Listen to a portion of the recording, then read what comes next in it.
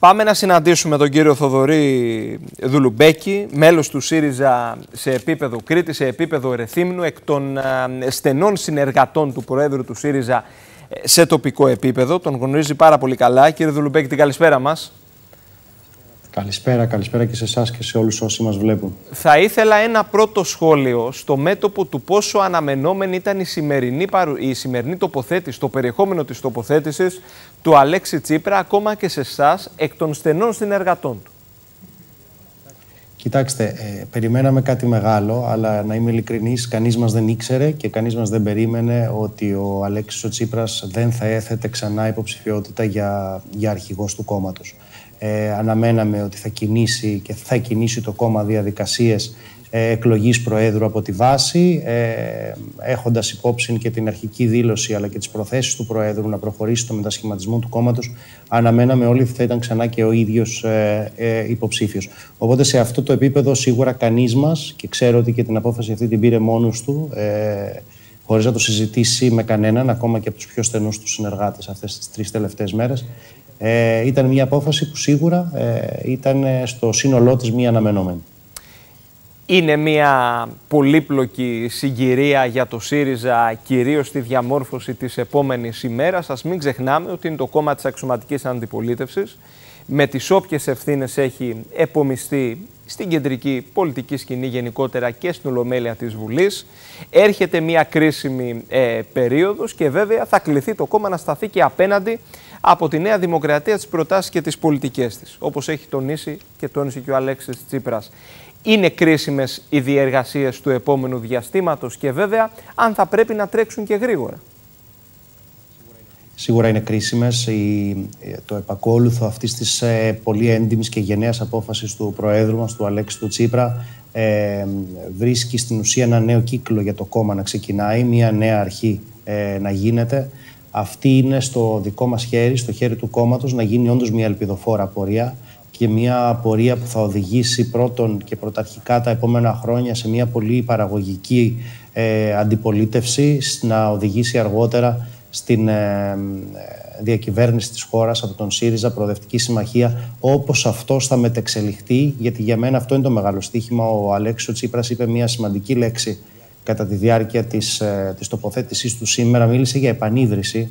Οπότε νομίζω ότι αυτό είναι το, το βασικό ζητούμενο που πρώτον θα διασφαλίσει μία αντιπολίτευση σύγχρονη ε, και το λέω τόσο με όρους πολιτικής παραγωγής όσο και με όρους επικοινωνίας αλλά και αργότερα μία ε, ε διακυβέρνηση για την χώρα που θα απαντάει στα σύγχρονα προβλήματα της, ε, της εποχής. Το θέμα και το σημαντικό ε, που πρέπει νομίζω να κρατήσουμε όλοι από αυτό είναι αυτό, αυτό το αίτημα για επανίδρυση που έβαλε ο Πρόεδρος, το αίτημα για ε, ριζική ανανέωση από την βάση μέχρι την κορφή, ε, αλλά καταλαβαίνετε και καταλαβαίνουμε και εμείς όλοι που είμαστε μέλη ε, του κόμματος ότι αυτή η περίοδος είναι πραγματικά πολύ κρίσιμη και για έναν άλλο λόγο, διότι πρώτα απ' όλα το κόμμα πρέπει να μείνει ενωμένο, ε, το κόμμα πρέπει να μείνει στην ολότητά του, όλα τα μέλη να είμαστε μαζί, να δούμε πώς θα διαχειριστούμε με τον καλύτερο δυνατό τρόπο, όχι για μας, ε, αλλά για την κοινωνική πλειοψηφία ε, την επόμενη μέρα του κόμματος. Η ενότητα είναι αυτή τη στιγμή το ζητούμενο. Είστε ξεκάθαρος. Πόσο δύσκολη θα είναι η διαδικασία διαδοχής ε, ε τις επόμενες mm. ημέρες και βέβαια κατά την προσωπική σας άποψη μιας και πλέον έχει δημοσιοποιηθεί η πρόθεση του κυρίου Τσίπρα να, να αποχωρήσει πόσο δύσκολη θα είναι αυτή η διαδικασία διαδοχής και αν πιστεύετε ότι υπάρχουν αυτές οι ισχυρές προσωπικότητες μέσα στο κόμμα που μπορούν να επομιστούν αυτή την ευθύνη.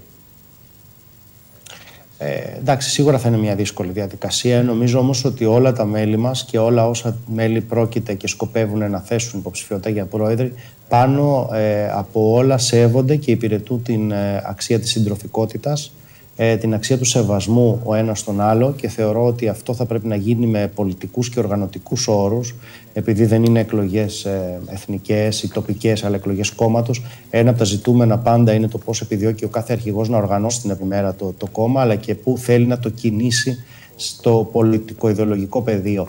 Άρα ε, νομίζω ότι μπορεί να είναι μια διαδικασία η οποία θα κυλήσει ομαλά, δεδομένου ότι όλα τα μέλη μας γνωρίζω και ξέρω ότι θα σεβαστούν τις αρχές της συντροφικότητας ε, κατά τη διάρκεια των, των εκλογών. Τώρα, ε, Νομίζω ότι το επόμενο διάστημα θα βγει και ο δικός χάρτης που θα ε, οδηγήσει σε αυτή την εκλογική διαδικασία.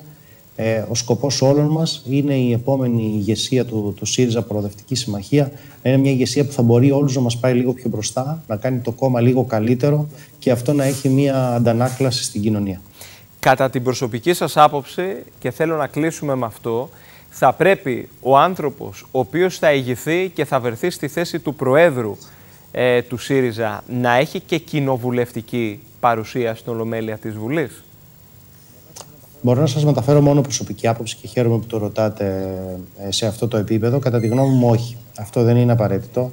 Ε, έχουν υπάρξει ξανά κόμματα τα οποία ο, ο πρόεδρος τους δεν ήταν στο κοινοβούλιο. Ε, είναι χρήσιμο, είναι καλό ο πρόεδρος να είναι στην κοινοβουλευτική ομάδα, θα ήταν ευχής έργων. Από εκεί και πέρα κανείς δεν πρέπει να αποκλειστεί από αυτή τη διαδικασία επειδή τη δεδομένη στιγμή ε, και σε μια κακή συγκυρία δεν είναι βουλευτής. Σας θυμίζω ότι το κόμμα μας αυτή τη στιγμή έχει μόνο 48 ίσω 47 είναι σε εξέλιξη μια ε, επανακαταμέτρηση γιατί αφορά μια έδρα. Ε, 47-48 βουλευτές Οπότε είναι σε μια κακή συγκυρία και ίσως θα ήταν λίγο περιοριστικό το να βάλει κάποιος ένα τέτοιο όρο, δεδομένου ότι ήταν διπλάσιοι σχεδόν ε, οι βουλευτές μας πριν από κανένα εξάμεινο όπω σήμερα. Άρα νομίζω ότι κανείς δεν πρέπει να αποκλειστεί. Είναι καλό και χρήσιμο να είναι και βουλευτής ο πρόεδρος. Θα έλεγα όμως ότι δεν είναι και, και απαραίτητο. Μάλιστα. Σας ευχαριστώ θερμά για την τοποθέτησή σας, ε, κύριε Δουλουμπέκη. Καλό απόγευμα. Και εγώ σας ευχαριστώ και για τον τρόπο που καλύπτεται όλο το, το ρεπορτάζ. Να είστε καλά. Ευχαριστούμε πολύ. Ευχαριστούμε πολύ.